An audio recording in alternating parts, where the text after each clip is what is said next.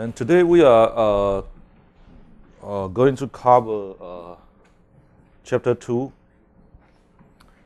And last, last week we uh, talked about the uh, analog digital signal data and uh, also the general issue about the phys- some general issue about the physical layer. Uh, and we are talking about the coding from uh, source coding to channel coding and then uh, line coding. And here we are talking about the line coding uh, regarding uh, to uh, encode the data stream, bit stream into digital signal. Dig- and here the consideration, uh, the game, the rule of the game is about uh, synchronization. First of all, that you want to uh, synchronize the clock uh, of the receiver with the sender. So in order to synchronize the receiver clock with the sender, you need to keep the keep having the transition. Uh, I mean the signal change in a digital waveform, so that the receiver clock will know okay this is a, the start of a bit or uh, the end of a bit. Okay, so so this is important. If you have a signal digital waveform that uh, remain constant in voltage for a period of time, then it's possible that the receiver clock will lose synchronization with the sender's clock. So you want to keep uh, synchronized, keep changing the signal in the digital waveform. And another issue is that uh, you might have baseline wandering, meaning uh, uh, you you have you, you are not uh, the receiver is not clear about the, the, the, the start and the end of a bit time. So if I if I have a time shift, time drift a little bit, and I sample the receiver sample the signal level, um, perhaps uh, it should sample at a, within that bit interval but due to the uh, time drift, it might sample at the wrong spot, so that it probably sample the previous bit or the next bit. Okay, so that's because the time shift. So you want to maintain. So if, if synchronization is about the clock interval, then uh, baseline wandering is, is about the, the start of that interval the start and end of that interval need to be uh, correct. and then the third issue is the DC component, meaning um the signal uh, should not go to. It's about the shift of the voltage or the energy, shouldn't go always to the positive voltage or the negative voltage. So you want to uh, have the average voltage maintained at zero. The best will be maintained at zero. Then you would you would have uh, no DC component. Otherwise, you would have DC component or DC bias that uh, perhaps uh, on the average the, the, the signal level is say uh, uh, two voltage. Then it's not good. You want to maintain the average voltage at zero. Otherwise, it will consume more power. This this would not. This is not about the the the correctness of the receiver in detecting or sampling the, the, the signal level, but it's about the energy consumption. So you want to swing positive and also negative, and on the average, you keep your voltage at zero. So that's the principle for line coding.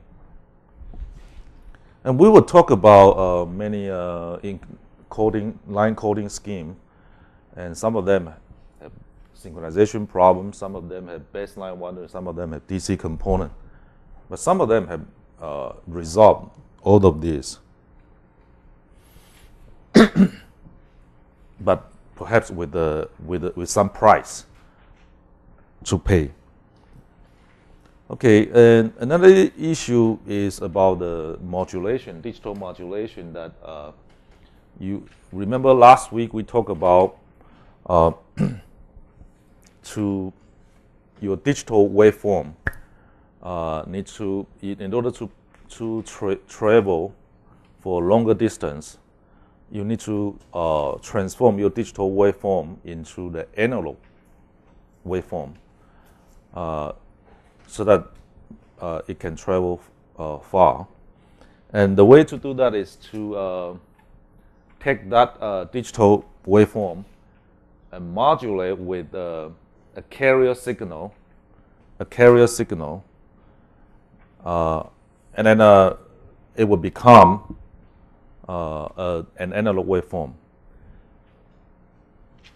So we'll talk about uh, the carrier signal, and the carrier signal can be uh, can be can do the job can can do the modulation in different form with the data bitstream.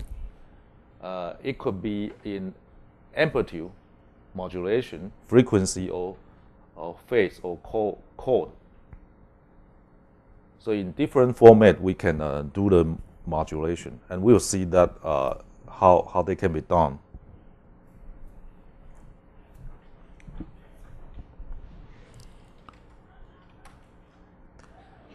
And also we talk about the impairment. Uh, there are some terminology that you probably need to differentiate them. Some of them are subtle difference. For example, the attenuation, meaning the, the energy, the signal energy will, will be lost uh, as you travel. So there's an attenuation.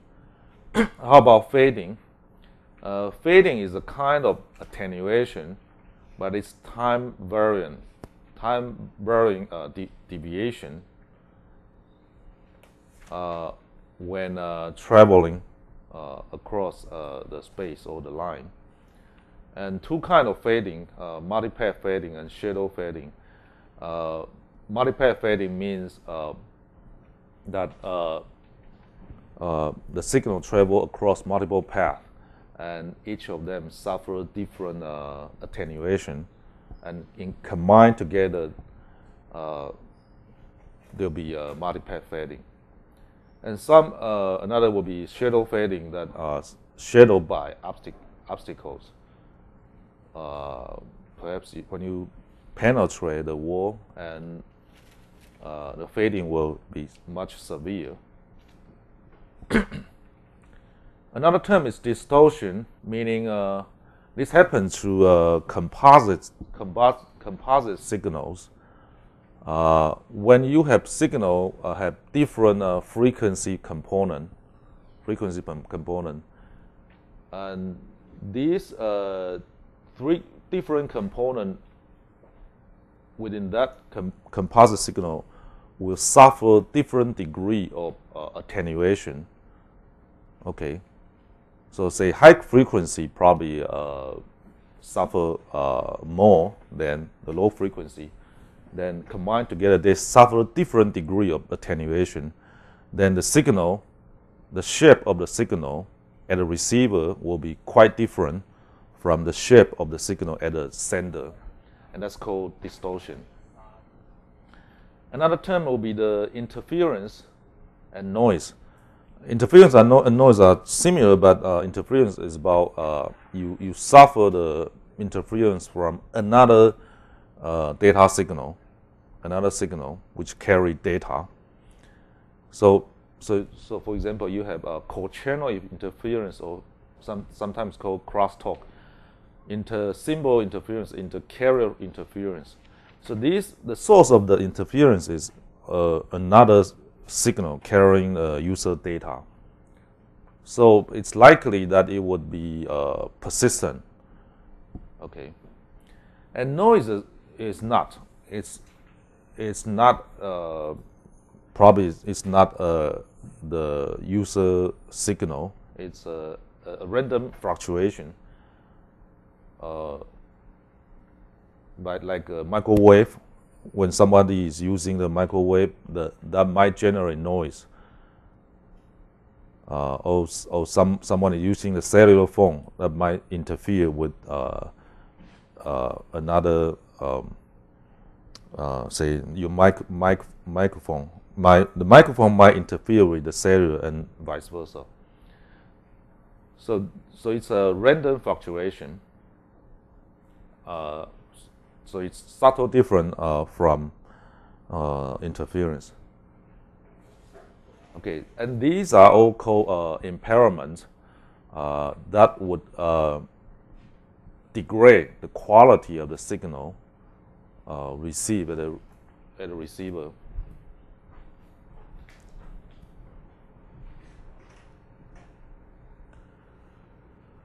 Okay, uh, before uh, we close uh, section 2.1, there's a sidebar on uh, software-defined radio. Uh, in recent years, uh, the industry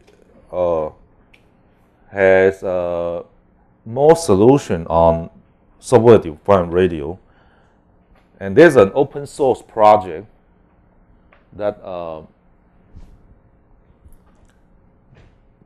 uh, that has a solution, uh, a Linux-based solution that uh, help uh, developers to develop a radio uh, solution, the the coding modulation solution on software, on the software platform. Okay, and perhaps you might think that this coding and modulation should be done in hardware and in the interface card and strictly by, by hardware.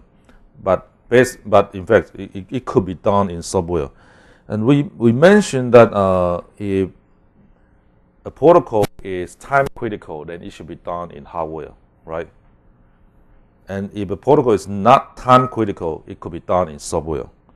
Then how come uh, this uh, modulation and coding there's time, of course, they are time critical, time sensitive. How come they are put into the software? That's the first question you, you need to answer. The second question is why isn't it hardware uh, more efficient and, than software? So why the previous hardware solution might not be better okay, than the software solution. So answer the first question. okay, if of course the, the, the software is not executed on the main CPU on your motherboard of the computer. Say I uh, I have a processor for to put to handle the protocol or the link layer and above, the protocol of the link layer and above. But then I cannot use that processor to do the phys physical layer stuff. I would use dedicate uh, a processor to do the uh, coding and modulation together. So, so that'll be a dedicated processor on the inter for that interface for the physical layer. So that's the first thing. So say for example, if it's uh, not a cellular phone, it's a computer or a, a laptop, or laptop or a, a pad then uh, I would have a, a processor associated with that physical interface. Okay, that processor is dedicated for that purpose, not uh, to be shared with the, the other protocol processing. So that's the first question. You need a dedicated processor. The second question will then, uh, why software? Why not just hardware? Uh, the reason is because uh, as we, um, as the device are need to handle more network interface. Say uh, I need to handle Bluetooth, I need to handle uh, GSM, I need to handle 3G, I need to handle WiMAX, LTE. So there'll be there'll be multiple interface, maybe Zigbee, and some of them uh, uh, have quite uh, similar processing in coding and, and modulation. However, I still have I need to have that uh, separate interface for each of them. So for each of them, I would have a probably a chipset or a chipset with different modules, and those chipset or modules they would occupy the circuit space, the space for the circuit. So for each interface, I need to have a dedicated area to, for the physical layer. And that might uh, be costly.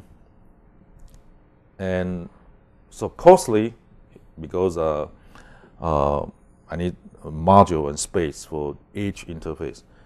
And non-flexible, meaning uh, if I have a chip roll out with this set of interface, later on I want to have, I want to uh, support another interface or another version, then uh, I need to roll out, roll out, design and roll out another chip. I cannot do it on this chip.